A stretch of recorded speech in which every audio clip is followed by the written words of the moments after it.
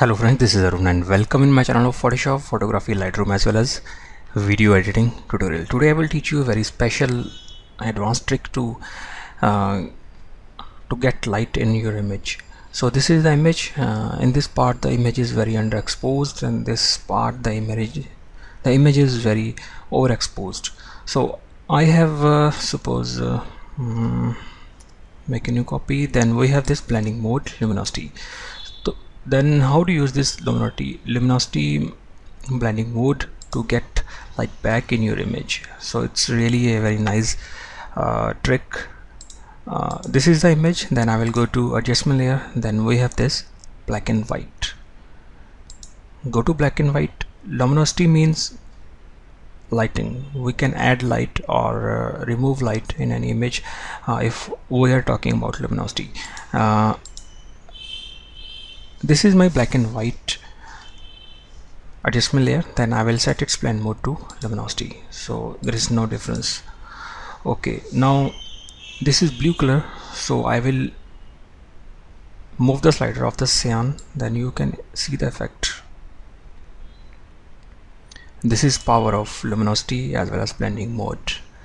So I want to control some light in the in this part so it is about uh, yellow as well as red. Now I will increase the red. See I can recover the details in the underexposed part. This is underexposed. Now I have recovered. Now I will move some part is also red.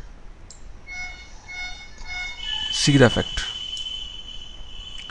This is before and this is after so it's really very nice command to get backlight in your image.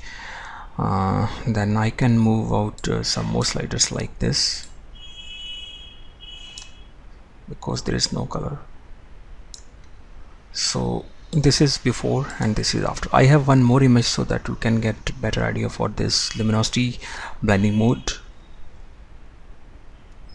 So this is the image second image. I will go to adjustment layer. Then uh, black and white I will choose. Now this is black and white. Uh, suppose I, I am working with this green slider then you can see the effect on this part. Okay now I will set its blend mode to luminosity so that uh, so see this is yellow so it's really very beautiful command. Uh, by using this command you have very control on each one of this color. Instead of putting light in the all image. So I will adjust the sliders.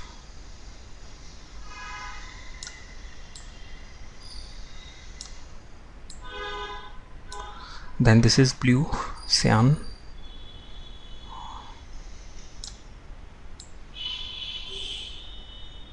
see the light I am putting in the image. I have very decent control on the each part of this image. Instead of putting the light on the all part. So this is before and this is after. I will come to this image. Uh, this is before and this is after uh, if you use curve level you can use it but uh, you don't have any uh, control on the each segment of the image. But if you use this command then you have uh, uh, very precise control on the each part of your image. So thank you friends. Keep watching Arunz Creation. If you want to subscribe my channel you can subscribe and uh, for more updates like this. Thank you friends. And keep sharing my videos and you can like my page for Facebook to continue with you. Thank you friends